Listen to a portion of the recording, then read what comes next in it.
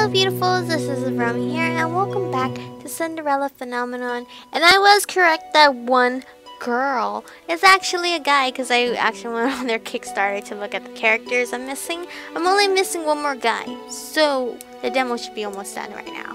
A palace maid cannot be clumsy. Why should I tolerate poor performance? What did I do that was so wrong? I know that Annie is hardworking and big-hearted, very good with medicine. Shame she lost her job so quickly. You know how hard the crown princess is to please. My friend at the palace says she doesn't even smile, only goes around with that cold look on her face. That's probably why they call her the Ice Princess. Ice Princess, so all those times I heard the servants saying that. I'd always suspected they were talking about me. She's the complete opposite of our Princess Emmy. That child's an angel. We all know she would she should be crowned princess. Annoyance begins to simmer inside me. I cannot stand hearing anymore, so I walk away. Ever since Emmy has entered my life, I'm always being compared to her, and now I have become second best. I am Michiko, Rilia Britain, daughter of King Gennaro Britain III, and the crown princess of the kingdom Angelique. I am of royal blood. She is... she is nothing. There you are! Princess, you must come back with me. It is getting too late for you to rain outside. Princess? Are you alright? Are you hurt? I want to cry for this girl. It's so sad. I brush him off and turn away. No need to fuss. Let's return to the palace. It's so sad. Oh. Leaving the palace was physically and mentally draining. My bed is welcoming to my unusually heavy body. I turn my head and meet Dolores' glassy gaze from where she sits on my shelf. I left the palace today, Laura. It was the same as all those years ago. Everyone looked at me like I was... What have I ever done to deserve those looks? How can I be so hated? I want to cry for her. Ice Princess. I wish Mother was here. I look at the smiling faces of my dolls. At least I still have all of you. Hello? 10 o'clock? I yawn and stretch my arms. Good night, Delora. Twinkle, twinkle, little star. How I wonder what you are. Singing? But who? Above the world so high, like a diamond in the sky. Twinkle, twinkle, little star. I. Oh my god. See, this is why I don't like dolls. I blink my eyes open only to see Dolores sitting right in front of me on my bed. Moonlight spills across her delicate features. How I wonder what you are. Wasn't she on the shelf with all the other dolls when I went to bed? Did... Laura? It's almost time. I pinch my cheeks to make sure I'm not dreaming. It hurts. Only 10 minutes before the clock strikes 12. Oh geez, hello? I hope you I hope you're ready, princess. What? My doll just turned into a human. How? Who are you? You know who I am. I've been watching you since the day your father gave me to you. What is happening? I don't think I've ever been so confused in my life. All the answers will come with time, but right now I'm here to give you something, princess. Glass slipper. Is this Cinderella's very own glass slipper. It is beautiful, too beautiful, then a realization begins to dawn upon me. You're a witch! Smart girl. I knew to figure that out eventually. Told you guys. now it's time to say goodbye to your precious crown. What? She's making us be Cinderella. The two stepsisters in Cinderella, except it's like a sister and a brother, and then we're the main. Sweet dreams, Cinderella. That was it? Hey, wake up, girl. Oh, I was gonna say, that was it. Where am I? Out my head. You have some nerve sleeping in front of my shop. Leave before a customer sees you. I was in my room. How am I here? Did you not hear what I said, you filthy child? Filthy? You would speak to your crown princess in such a manner? If you're the crown princess, then I'm the queen. You must have been knocked on the head quite hard to have such a grand illusion. I'm not delusional. I am Michiko Riel of Britain, blood daughter of the King Gennaro Britain III, and the Crown Princess of Angeline. Right, the king never had a daughter with that witch. Is she referring to mother? Oh, is mother a witch? Don't pretend to be stupid, girl. I can only stare at her puzzled. Our good king only has stepchildren, Princess Emmy and Prince Rod, and you are most definitely neither of them. What? Now get gone before you go spouting crazy gibberish at my customers and scare them away. The how she leads me to my own rapidly turning thoughts. I quickly realize that I am wearing tattered clothes and that I do not even have shoes on. That's a horrible dream. Like, I always have a dream where I don't have shoes on for some reason. And it freaks me out because I'm scared it's real life. No, no, no, this cannot be happening. Something shines against my chest and I reach up to grab it. This is... It all floats back. Delora being a witch. Cinderella's glass slipper. This is not a dream. Delora gave me the fairy tale curse. My hands began to tremble. I must return to the palace and talk to the king. Would he remember us? Let me in. Sorry, girl, but this place is off limits to uninvited guests. You do not understand. I'm Crown Princess Michiko Riel of Britain. I must speak with my father. As loath as I, as I am to call him that, I have to. No one will believe me if I am addressing him by title. You best leave now, nice and quiet, before I have to force you. If you would only make way for the king. The gates swing open and the three horses trot out. Soldiers ride two of the horses while the last horse has a different, familiar rider. Oh, it's a father. Oh wait, okay, never mind. I immediately move back to move to block the path of his horse. The soldiers need to hold me back. Your Majesty. What is this? Your Majesty, this girl is claiming to be your daughter. Daughter? Both of my stepchildren are in the palace right now. What? Even father is a part of this? Father, you must help me. A witch has cursed me. For once in your life, just once, help me. You must believe me. Tell me, where is your family child? Why are you all alone? He looks at me with pity in his eyes. He is looking at me more kindly as a peasant than he ever did when I was the crown princess and his daughter.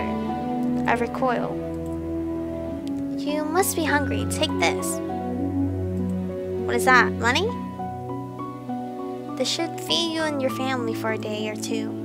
The kingdom offers work opportunities to those who need them. Please let your parents know. I do not want your pity, father. Please escort this girl back to her home. Her, her home. Make sure she gets there safely. At once, your majesty. I watched as my father and his two guards ride away on their horses, leaving me to stand in, the, in their dust. Again, he left me alone. Again. Where is your home, girl? There is nowhere left for me to go. Father has forgotten me. Leave me. Now look here. Our orders were to leave. I alone. Leave me alone. I don't have home. Suit yourself. Can't say we didn't try. Don't cause any more scenes, little girl. I watch with bleary eyes as soldiers return to the palace. How can this happen? How can this be happening? I stare at the small pouch in my hands. I do not know what hurts more. The fact that I have just been unceremoniously paraded away from my home like I, had no I am nothing more than a piece of garbage, or the fact that my own father does not recognize me. Look at, look at that girl's hideous dress. How difficult it is to be poor. I clutch a pouch, pouch closer to my chest as I run to an empty alley. I huddle in a corner trying to become as small as possible. I squeezed my eyes shut, hoping that when I next opened them, everything will be back to normal. But it won't. A dream? Recall the memories or wake up? Wow, we actually get choices? Recall the memories, why not? No matter what happens, you must not leave the palace. Why? The world is cruel. People will only hurt ever people will only ever hurt you. But they're always so nice to me. That is only because you're the crown princess. They will only ever think of that, of what they can take from you. I'm trying to protect you, my love. That is why you must never leave the palace. Never leave mother. I am the only one who will ever love you as love you so much. Do you ever understand? Do you understand? I cannot read for some reason. I understand.